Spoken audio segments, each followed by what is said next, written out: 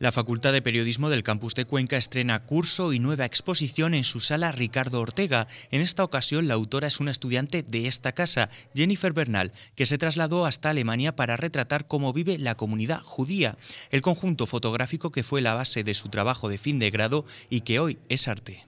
No solo fue la fotografía, sino que también estaba complementado con un soporte teórico, por así decirlo. Eran dos libros, uno de texto y otro de fotos, y evidentemente lo que se pueda ver aquí solo son las fotos.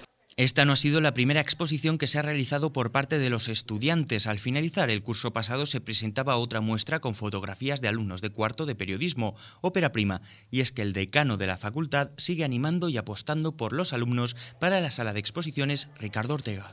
Se pueden hacer cosas muy creativas. Tanto Jennifer, a la que por supuesto felicito, como a quien ha sido su tutor y quien ha sido el artífice de esta y de otras exposiciones, Santiago Torralba, pues vosotros dentro de unos años podéis estar exponiendo también aquí, como ya han expuesto otros alumnos en anteriores ocasiones.